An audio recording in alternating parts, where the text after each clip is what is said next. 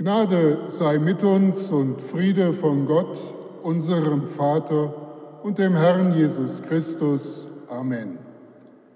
Christus spricht, ich bin der gute Hirte, meine Schafe hören meine Stimme und ich kenne sie und sie folgen mir und ich gebe ihnen das ewige Leben.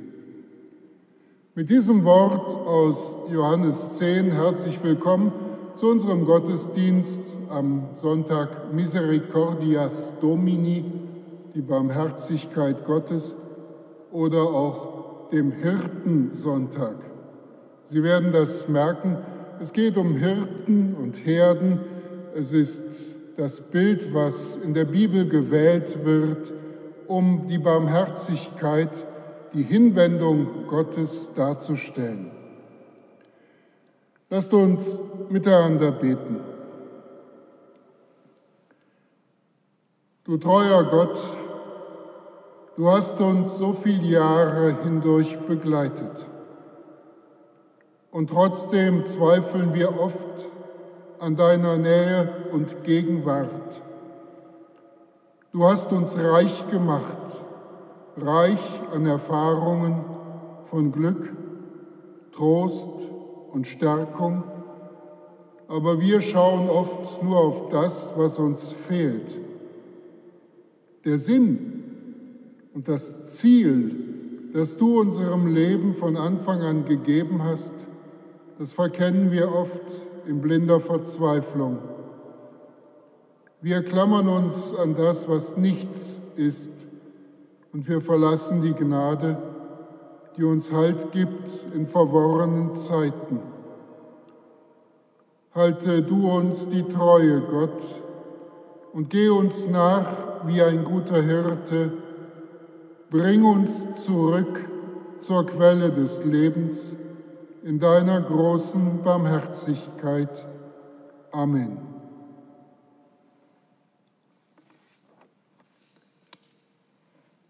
Als Lesung hören wir einen Abschnitt aus dem Propheten Ezechiel im 34. Kapitel. Und des Herrn Wort geschah zu mir, du Menschenkind, Weissage gegen die Hirten Israels. Weissage und sprich zu ihnen, so spricht Gott der Herr. Wehe den Hirten Israels, die sich selber weiden.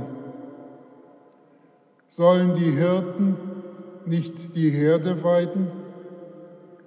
Aber ihr esst das Fett und kleidet euch mit der Wolle und schlachtet das Gemästete, aber die Schafe wollt ihr nicht weiden. Das Schwache stärkt ihr nicht und das Kranke heilt ihr nicht. Das Verwundete verbindet ihr nicht das Verirrte holt ihr nicht zurück und das Verlorene sucht ihr nicht. Und meine Schafe sind zerstreut, weil sie keinen Hirten haben, und sie sind allen wilden Tieren zum Fraß geworden und zerstreut. Sie irren umher auf allen Bergen und auf allen hohen Hügeln und sind über das ganze Land verstreut und niemand ist da, der nach ihnen fragt oder sie sucht. Darum hört, ihr Hirten, des Herrn Wort. So wahr ich lebe, spricht Gott der Herr. Ich werde meine Schafe von euch fordern. Ich will an die Hirten und will meine Herde von ihnen fordern, will ein Ende machen, dass sie Hirten sind. Sie sollen sich nicht mehr selber weiden. Meine Schafe aber will ich erretten. Denn so spricht Gott der Herr, siehe, ich will mich meiner Herde selber annehmen und sie suchen, wie ein Hirt seine Schafe sucht und will sie retten von allen Orten, wohin sie zerstreut waren, zu der Zeit, wo es trüb und finster war. Ich aber selbst will meine Schafe weiden. Soweit die Worte der Lesung.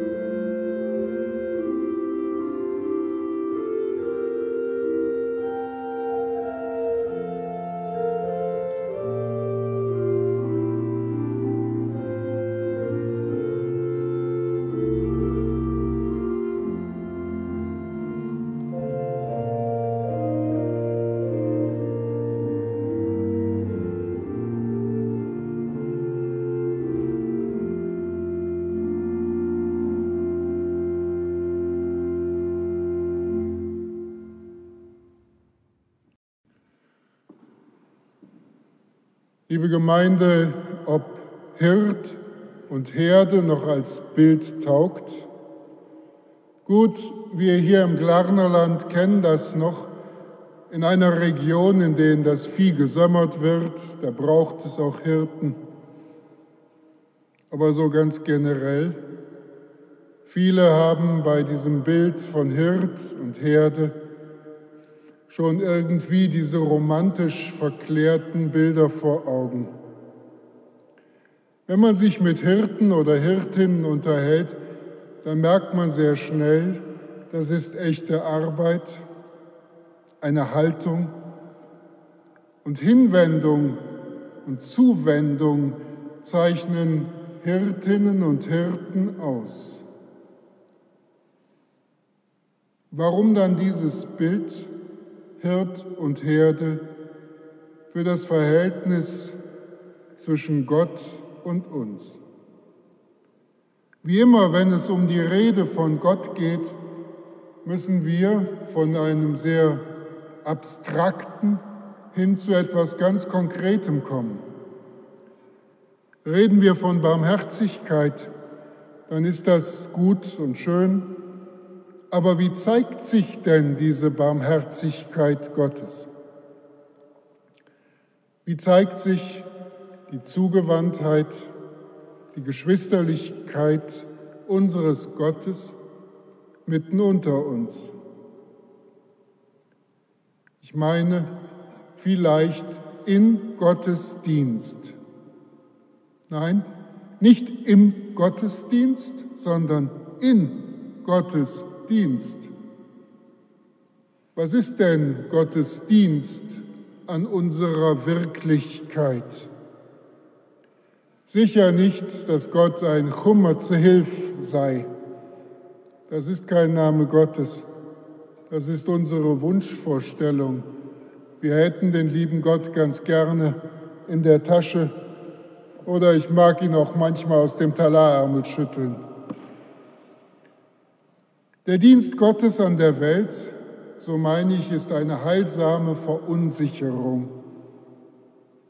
Jetzt können wir natürlich sagen, verunsichert sind wir genug, erst recht in diesen Zeiten. Was soll uns das nützen? Noch mehr Verunsicherung. Ich meine, wir sind nicht verunsichert genug, sondern wir sichern uns ständig im Kreisen um uns selber ab. Hirten, die sich selber hüten, mehr und mehr. Und wir lullen uns ein mit dem alten Kehrvers, man kann ja eh nichts tun. Eh nichts tun, so kommt es uns dann aus unserer eigenen Echokammer auch wieder zurück. Zum Verzweifeln ist dann diese Haltung. Da braucht es die Verunsicherung, so auch zu den Zeiten des Propheten Ezechiel. Man hatte sich ja gut eingelebt und arrangiert. Babylon, das Exil, es ist alles gar nicht so schlimm. Man kümmert sich halt ein bisschen mehr um sich selber, genau bis man darin stecken bleibt mehr und mehr und noch ein bisschen mehr, ein bisschen mehr für mich. Und schnell ist man dann auch bei dem nur für mich angekommen. Da braucht es Gott, der dazwischen geht. Und Gott handelt. Gott sagt, ich selber will meine Herde weiden. Das lässt Gott ausrichten durch den Propheten Ezechiel. Ehrlich, wir aber weiden unsere Vorurteile und behüten unsere Echokammern, lassen uns selber weiden in den Blasen, denen wir uns zugehörig fühlen und hüten uns vor den Aufgaben, die uns anvertraut sind. Fett und satt wie die alte Katze hinterm Ofen. Man kann ja eh nichts tun und wieder höre ich das Echo eh nichts tun. Darin und damit haben uns die Populisten von links bis rechts gelehrt. Und dahin haben sie uns gebracht, eingelullt. Das gilt übrigens nicht nur für den politischen Populismus, es gilt genauso auch für den religiösen. Und ich weiß nicht, welcher schlimmer ist. In Wirklichkeit vereint sie alle dieses Profitmaximierung für sich selber. Einfache Parolen, schnelle Lösungen und nur schwerlich wird verhüllt, wer am Ende die Zeche zahlt und wer den Gewinn nimmt. Diese Pandemie hat uns schon länger im Griff als alles, was Corona heißt. Wir haben doch im Gedröhn der Meinungsmacher und Influencer schlicht keine Zeit mehr, gründlich und nüchtern uns seine Meinung zu bilden. Auch gegen diese Pandemie fehlen uns Antikörper und Impfstoffe. Wir verlieren die Fähigkeit zwischen Fakten, Meinungen und unseren Wunschvorstellungen noch zu unterscheiden. Und so sitzen wir im finstern Tal fest wie Schafe völlig verirrt, orientierungslos. Ich glaube, es braucht auch hier und jetzt heilsame Verunsicherung. Auch in unseren Tagen braucht es Gott und Gott handelt. Ich selber will meine Herde weiden. So lesen wir das mitten in unserer Komfortzone und es verunsichert. Nichts, rein gar nichts hat diese Welt so dauerhaft verunsichert in den Vorstellungen, wie es denn sein muss, wie die Auferstehung Jesu von den Toten. Bis zum heutigen Tag. Denn da, wo die Hoffnung auf Auferstehung sich Raum schafft, und das tut sie, da ist Leben. Und Kraft dieser Hoffnung können wir und wollen wir handeln in dieser Welt und Auferstehen von den Todgeglaubten und den Todgesagten. Je mehr wir all das Erstarrte vergessen, je mehr wir weltzugewandter werden, desto lebendiger und wahrnehmbarer wird durch uns Gottes Dienst an dieser Welt. Ein Hirt, der seine Herde weidet, wie es recht ist, der ist eben bei seiner Herde und nicht in der warmen Stube, auch nicht in der leeren Kirche, will sagen, Gott ist nicht in Kirchen eingemauert, sondern immer schon und längst da draußen und weidet seine Herde. Amen.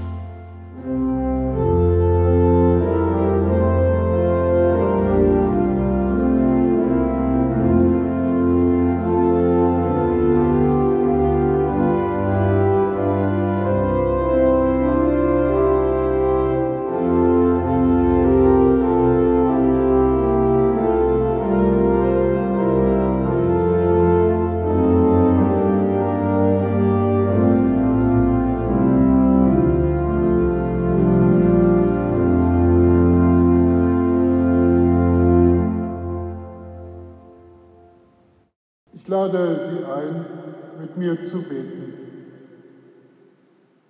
Barmherziger und geheimnisvoller Gott, wir kommen mit unseren Sorgen und Bitten zu dir in dem Vertrauen auf deine verwandelnde und lebensbejahende Kraft. Wir bitten dich für die politischen Hirten, dass sie die Fürsorge und das Wohlergehen der ihnen anvertrauten Menschen im Herz tragen, dass sie lernen, die Leidenschaft ihrer Machtimpulse zu verwandeln in eine Leidenschaft und Fürsorge für das Leben ihrer Mitmenschen.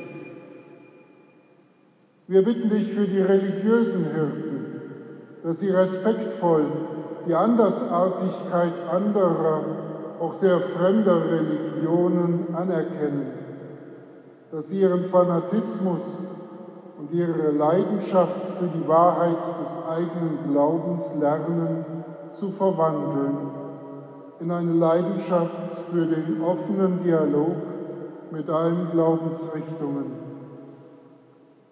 Wir bitten dich auch für diejenigen, die mit Tieren und Pflanzen umgehen, dass sie dabei respektvoll die Geschöpflichkeit aller Tiere und Pflanzen anerkennen, dass sie lernen, gierige Impulse der Ausbeutung zu verwandeln in eine Dankbarkeit für die Schöpfung, aus der wir und von der wir leben. Wir bitten dich für unseren Alltag, dass wir achtsam aufmerksam bleiben, fürsorglich und einfühlsam, gerade auch dann, wenn es uns schwerfällt. Stärke unsere Fähigkeit zur Hingabe an deinen lebensbejahenden Willen, auch wenn wir oft unsicher und ängstlich sind, sodass dein freundlicher, heiliger Geist in uns wohnen kann. Das bitten wir durch Christus Jesus, unseren Herrn. Alles, was wir sonst bitten, legen wir in die Worte Jesu.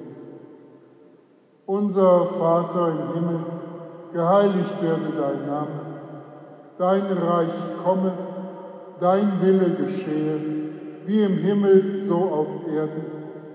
Unser tägliches Brot gib uns heute und vergib uns unsere Schuld wie auch wir vergeben unseren Schuldigern. Und führe uns nicht in Versuchung, sondern erlöse uns von dem Bösen. Denn dein ist das Reich und die Kraft und die Herrlichkeit in Ewigkeit. Amen. Am Ende dieses Gottesdienstes möchte ich mich herzlich bedanken bei der Organistin Lara Schaffner und bei demjenigen, der für diese Aufnahme hier sorgt, in Ton und Bild, bei Wendelin Jakober.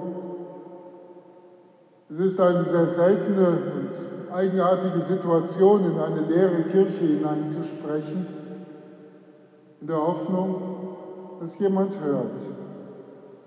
Nun, wir stellen uns unter den Segen unseres Gottes. Der Friede Gottes aber, der höher ist als all unsere menschliche Vernunft, bewahre unsere Herzen und Sinne in Christus Jesus, unserem Herrn. Amen.